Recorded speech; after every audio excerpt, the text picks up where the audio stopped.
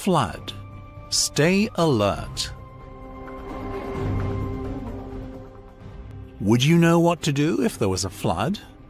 You should always be prepared. Decide where you will go and what you will do if there is a flood. Already have an emergency kit prepared with important items and protective clothing. Build flood defenses outside your home. Flood barriers and walls can protect your home from floodwaters. Before a flood, you should turn off the electricity and water supplies.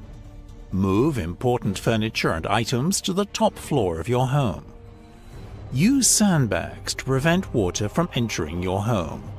Arrange for any livestock to be moved to high ground. During a flood, wear protective clothing and get your emergency kit. Evacuate the house if necessary and move to high ground. Listen to the weather forecast using a radio for updates. Don't walk through moving water. Avoid already flooded areas. Don't use cars in flooded areas, as they can be swept away by floodwaters. If you are in a car and encounter a flash flood, get out and move to high ground.